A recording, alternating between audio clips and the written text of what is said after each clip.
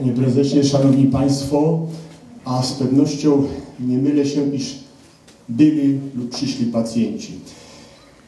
Zapoznając się i wsłuchując się w wypowiedzi Pana Prezesa stwierdzam, iż trzeba było czekać aż 90 lat, żeby zmienić ten obiekt. To gratuluję. To jest wielkie wyzwanie. Cieszy, iż kierownictwo wspólnie z załogą umieliście skorzystać z funduszy dostępnych. To jest ważne. To będzie miało wielkie znaczenie za niedługo, gdyż po nowelizacji ustawy o Narodowym Funduszu Zdrowia to wojewoda będzie definiował mapy potrzeb zdrowotnych na okresy pięcioletnie.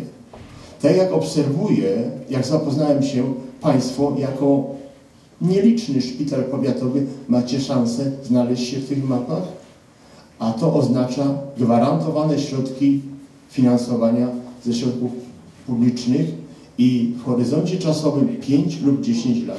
Mając taki horyzont czasowy, można naprawdę mądrze rozłożyć projekcję prowadzenia jednostki.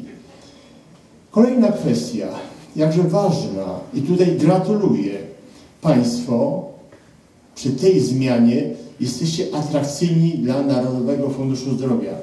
Oczywiście mamy określone środki, to jest raptem 4, prawie 7 miliarda złotych na Dolny Śląsk, pozornie dużo. Ale jak tak się rozłoży na wszystkich potrzebujących świadczeniodawców, to nie jest dużo. Ale w gronie szpitali powiatowych macie szansę, będziecie wyżej rankingowani w pozyskiwaniu kontraktów. A tym bardziej można naprawdę skorzystać z propozycji Ministerstwa Zdrowia, żeby pozyskać pacjentów.